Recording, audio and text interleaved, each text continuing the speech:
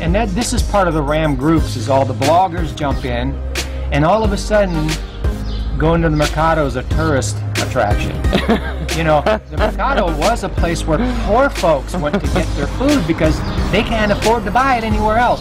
But now it's a tourist attraction and the prices balloon higher than the at regular stores because it's a tourist attraction. You know, it's a fun thing to go do.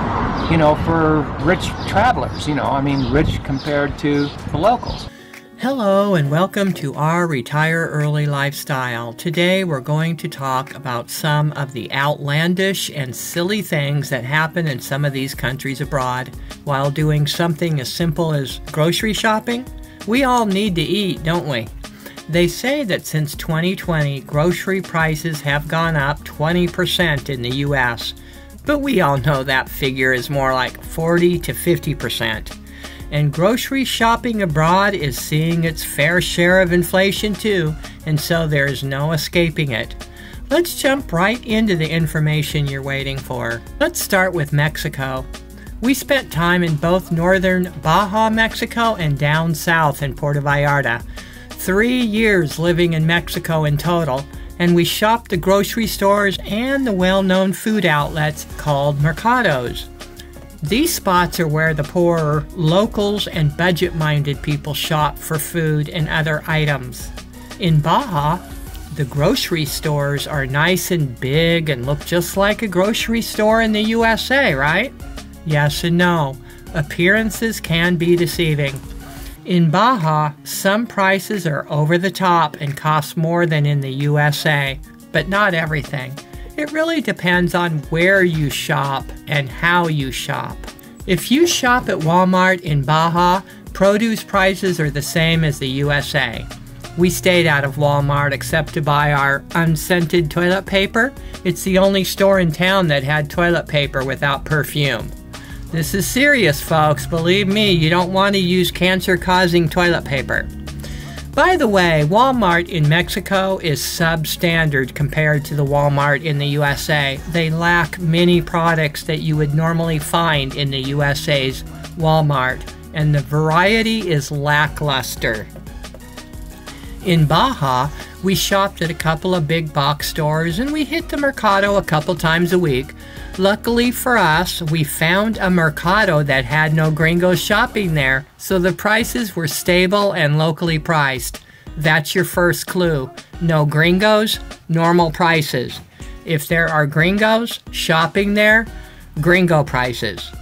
In Mexico, the discrimination was so bad we couldn't get any of the vendors to sell us clean well water for any less than 400% markup. It was really bad.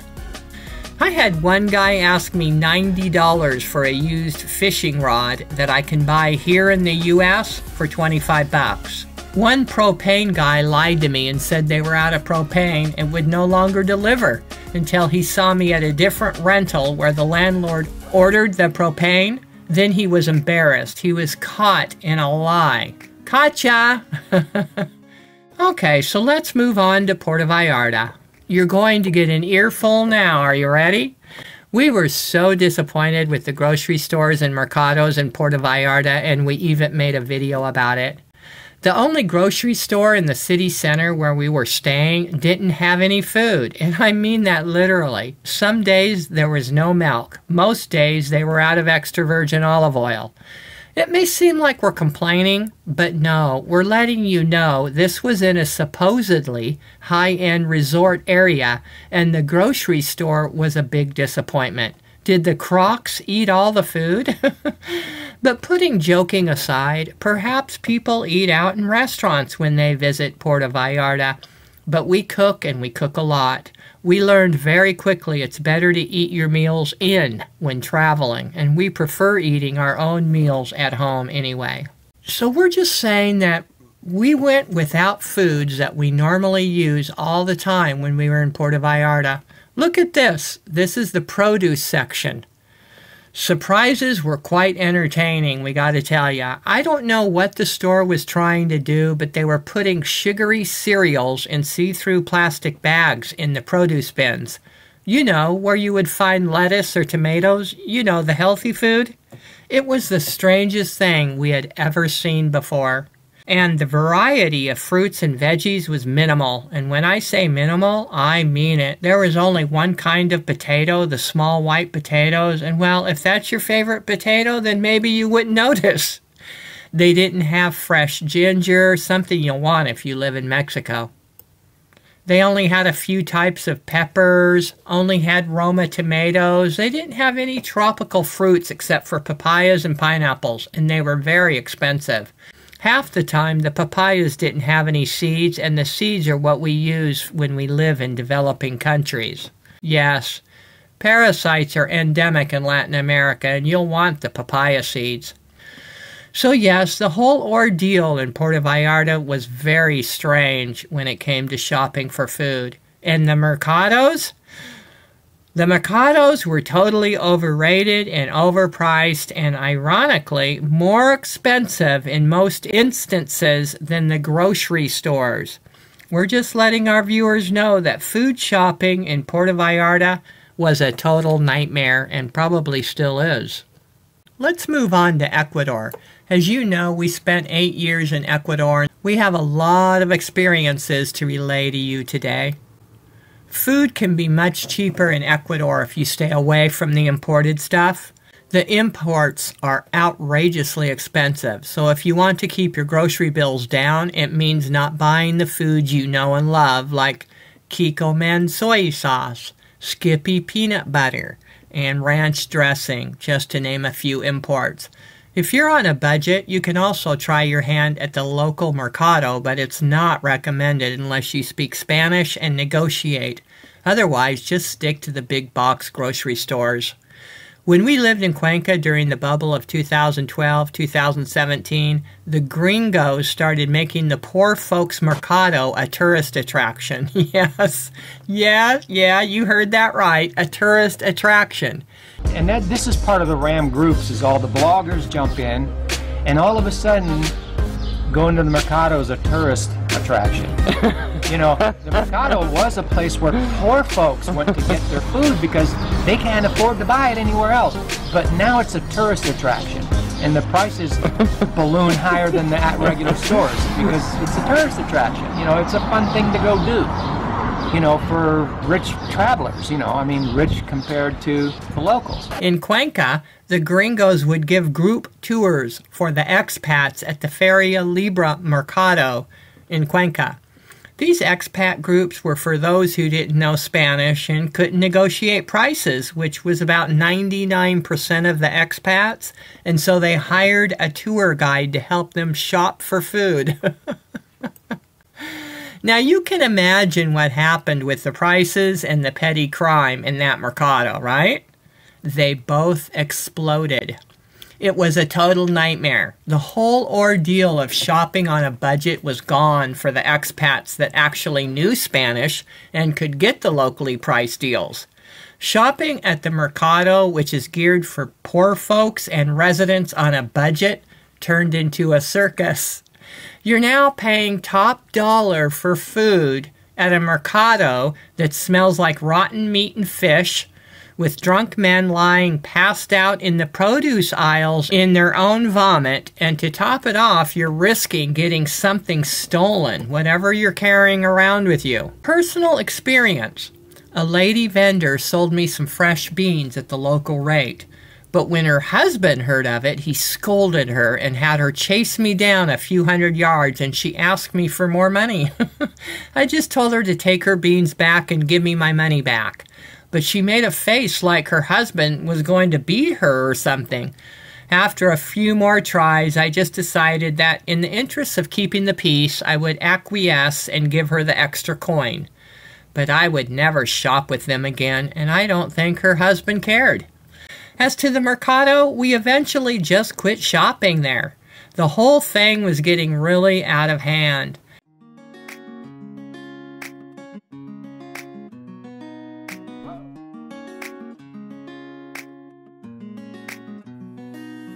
Well, here's the jumbo ones.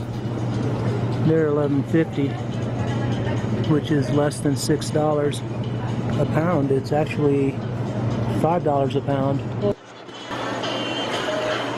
Yeah, always told people, go to the store before you go to any mercado and check the prices.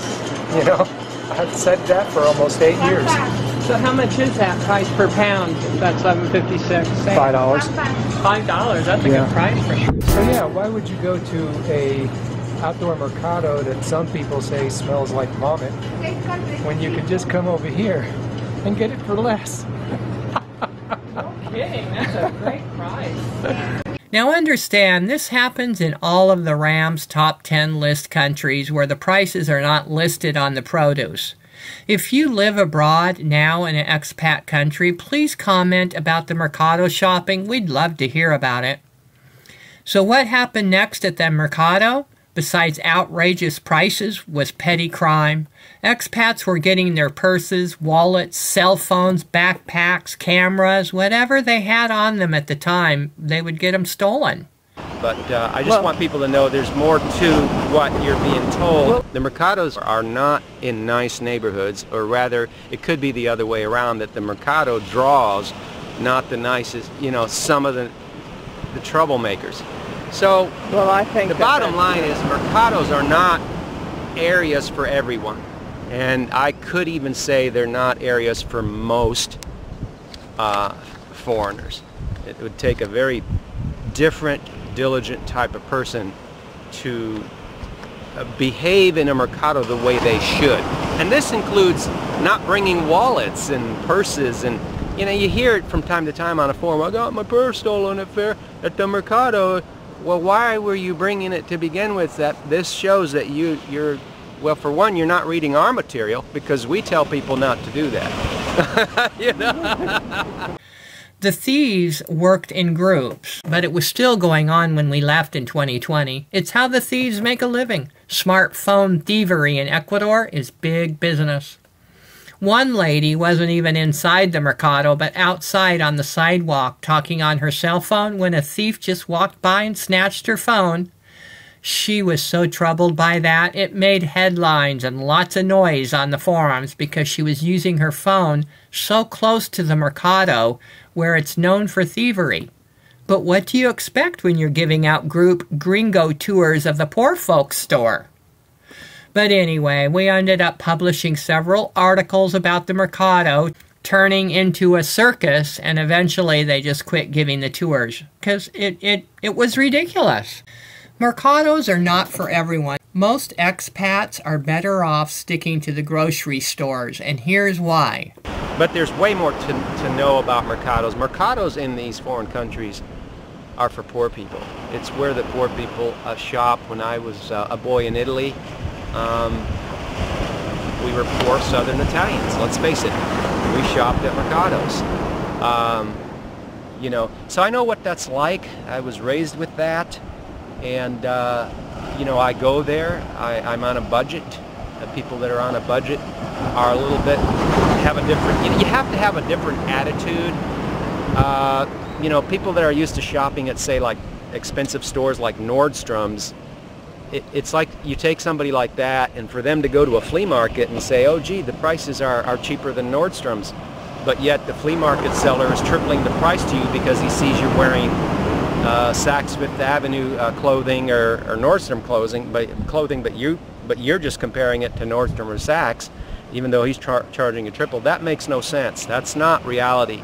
It may be the reality for some people, but it changes the landscape, and you're setting yourself up for robbery, theft, assault.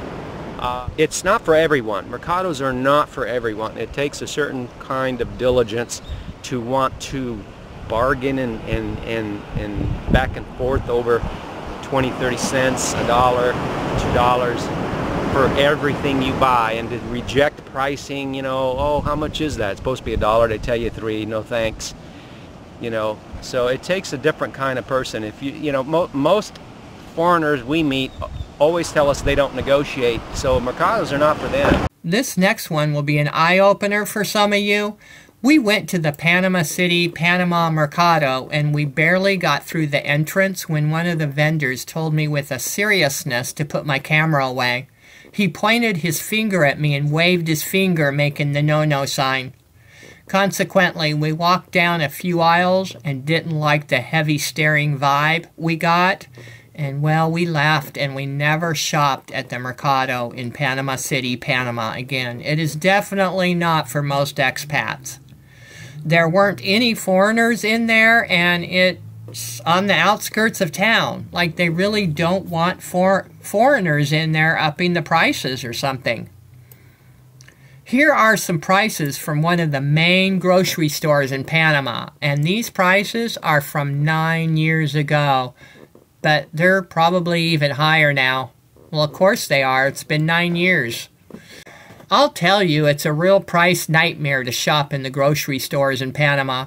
Unfortunately, the grocery stores in Panama are way overrated and overpriced, and your grocery bill will be just as much as in the U.S. if you live in Panama City, Panama.